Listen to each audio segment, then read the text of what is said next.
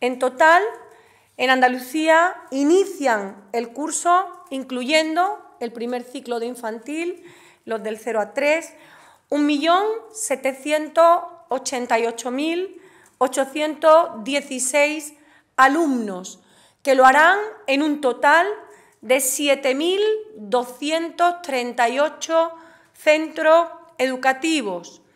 El 95,4% de las plazas corresponden a centros sostenidos con fondos públicos y dentro de estos centros sostenidos con fondos públicos se mantiene la proporción estable, habitual, de un 80% en centros de titularidad pública, en torno a un 20% en la red concertada.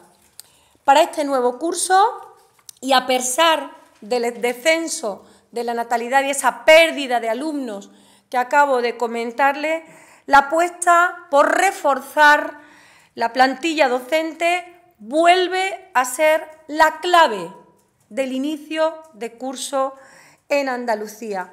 Y esta apuesta por nuestras plantillas, por nuestros docentes, se hace o se produce en un doble sentido. En primer lugar, la plantilla estructural vuelve a crecer, vuelve a crecer en más de mil efectivos, hasta una cifra récord de casi 107.800 maestros y profesores en la red pública.